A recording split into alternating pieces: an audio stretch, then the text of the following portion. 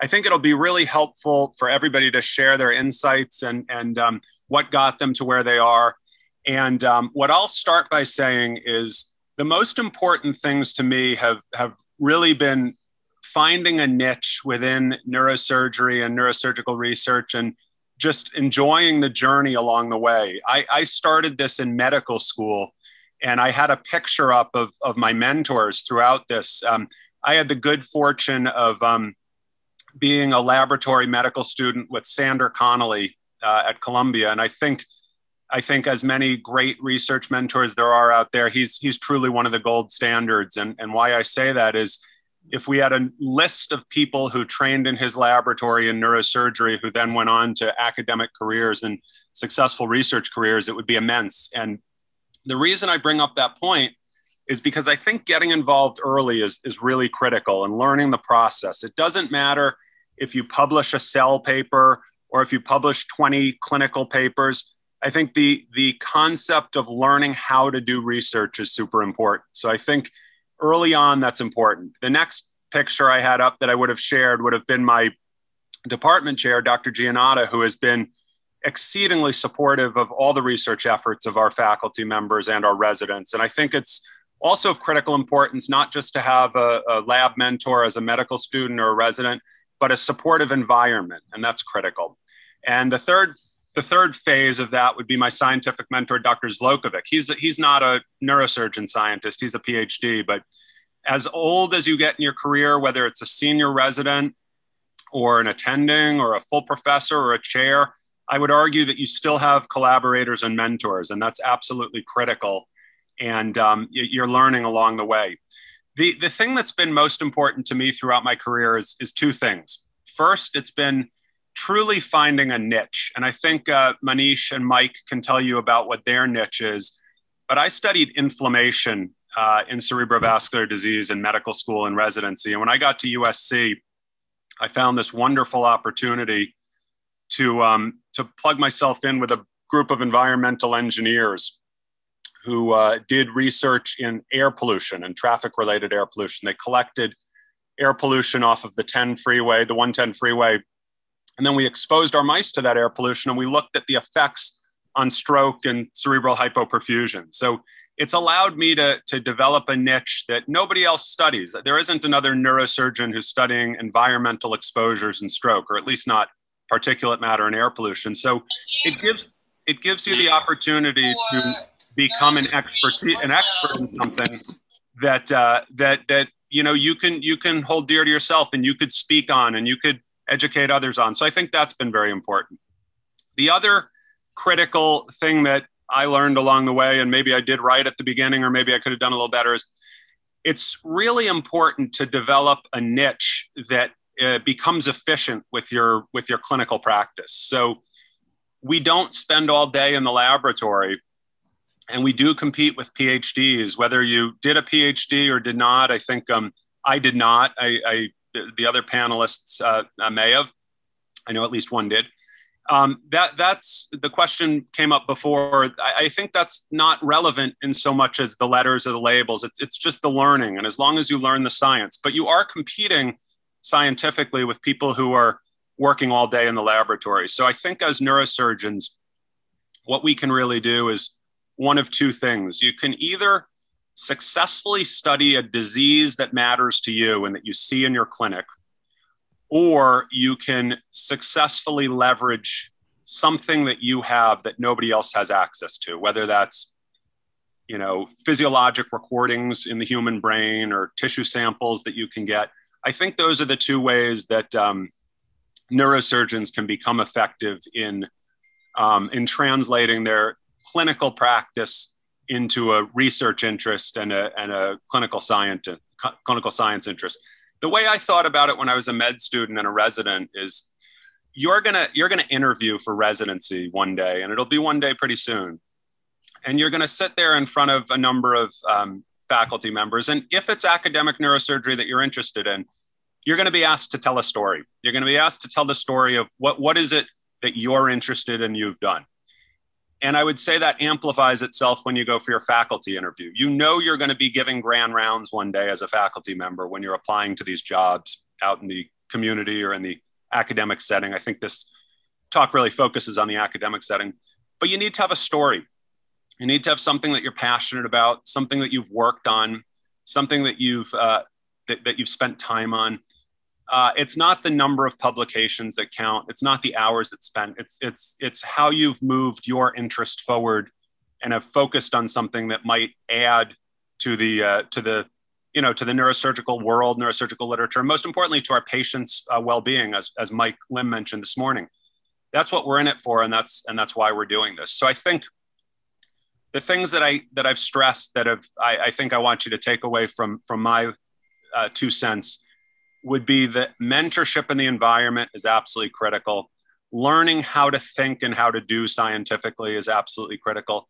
And doing something that's efficient and that you can leverage to, to, to tell your story is, uh, is, I think, the way to succeed in, in neurosurgical research. There's many ways to do it. That's, that's, been, my, that's been my feeling. So I'll, I'll pause on that and give a little time for the others um, to, to talk. Thanks, uh, Bill. That was great. I'm, I would say my perspective is shares a lot of similar themes. Um, uh, and just a couple of points I'll touch on. So my background, I am an MD, PhD, and um, and now run a lab and studying the brain tumor microenvironment. I would say that um, there's nothing magical about the PhD, and it's a common question people ask. And ultimately, at the end of the day, um, whether it's a gap year or a PhD, um, these are what I tell students that I advise and what I told myself when I had to make the decisions is these are personal choices. You have a, a journey ahead of you and the opportunity to define it based on your own personal passions and interests. So, um, and that's really what needs to guide your decision making. It should not be, oh, what will the residencies think when I apply? Like, don't, if you start thinking like that, you fall into a trap that will inevitably lead to a lesser outcome.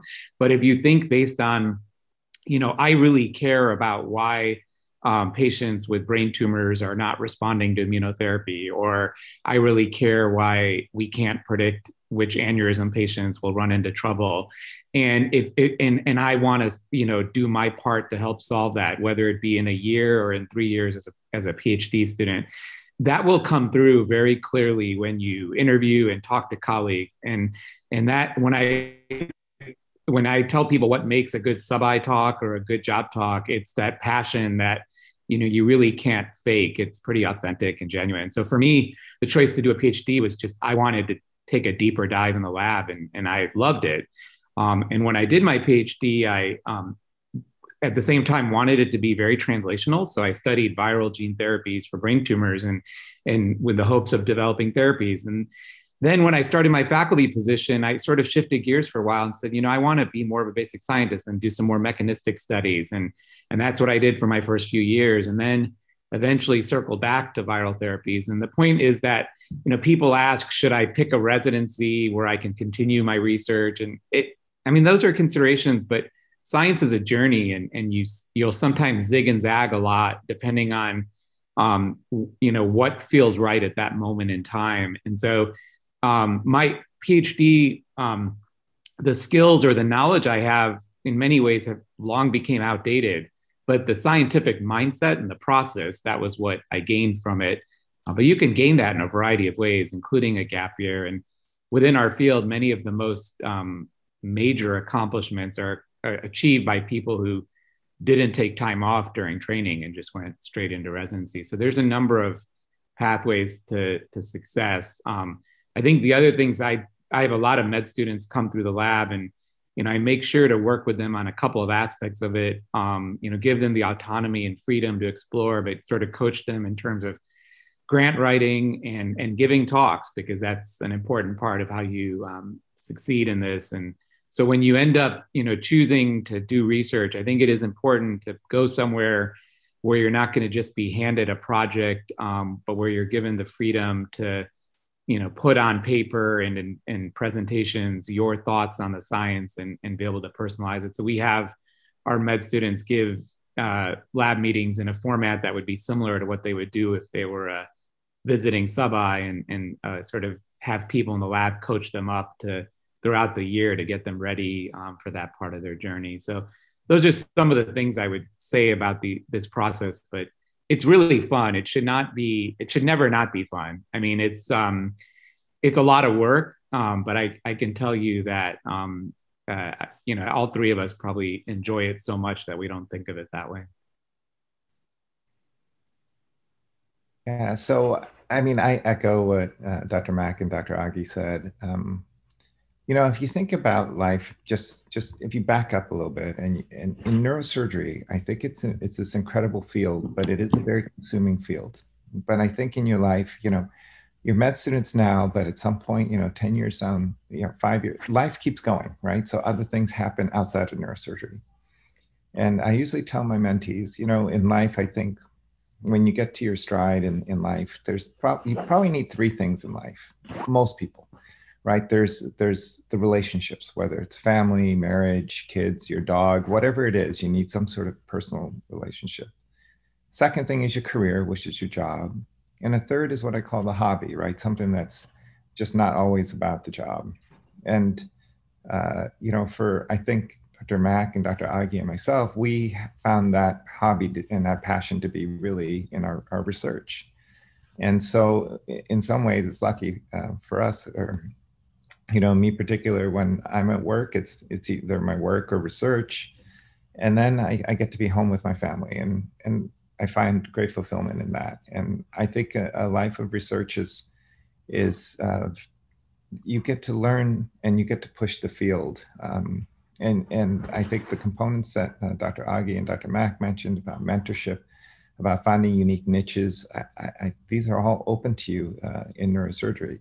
You know, at this stage as a medical student, you know, if you decide to take a year, decide to take a research project, you should also look at it to to see if this is something you want. And and so it should be an acquisition of skills uh, uh, experience, right? You want to learn about the scientific method, or you want to learn how to do clinical research, or you want to learn about clinical trials. And then when you get into residency, um, you, you'll have you know two years where you you may decide to continue doing that. And then um, even then, you know, I, I, you know, a lot of the residents that I've I've mentored over the years, they're they're all worried. They said I have to have something that I can take with me to my career, and I, I say not necessarily you know our research years are kind of in the middle and the residents have two clinical years after their two research years it, the field changes. It's it's the skills that they get and, and the mentorship that they uh, they get that um, will prepare them for wherever they go. And as Dr. Mack said, you know, he studied neuro, uh,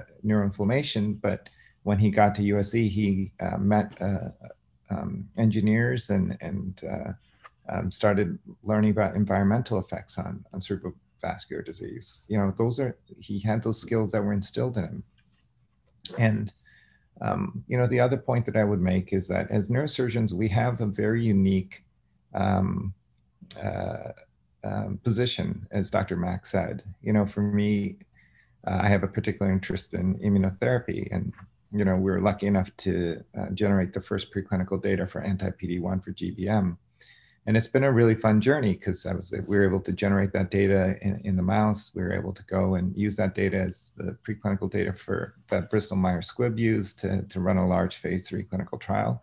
So we got to see the whole thing go from the lab all the way to clinical trials. Unfortunately, the trial came out negative, but then we had this ability to go back. And so, you know, we were able to go back and find additional markers because as as surgeons, we can go and and look at the tissue of our patients. And we found a different molecule called LAG3.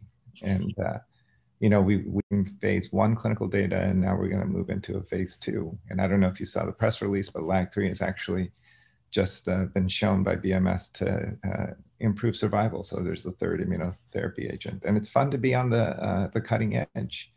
Um, but again, it's a journey, and you get, um, it's a different aspect. Unlike the basic scientists, which they can't take care of patients uh, like you do. You you have this ability to go all the way from the bench and take it to a clinical trial, and then take it back and and answer more questions in, in a, a, mechanistic way. So, um, again, I, I, you know I think all three of us have found uh, great fulfillment in this. Yeah, I was gonna I was gonna echo what Mike said, and, and I guess Manish said as well, but I think I speak for the three of us. We think we have the best jobs in neurosurgery. I mean, it is just so incredibly fun and um, intellectually stimulating to be able to run from the lab to the um, to the clinic to the OR and see all these things that you want to ask about and when discover and it's it's all about the questions that you ask about. And the fact of the matter is if you want to get to that position and that sounds like fun to you you will. And the people who don't really that does not appeal to them they, they won't and that's okay. Everybody has to you, you can't do this because um, it's a checkbox or or it's something you you think you have to do. This this i mean as as i said I, I come into work every day just so happy to be doing this and it's such a it's such a privilege to be able to do this lab work along with the patient care that um, that i can't say enough good things about it Hey everyone, Ryan Rad here from neurosurgerytraining.org. If you like that video, subscribe and donate to keep our content available for medical students across the world.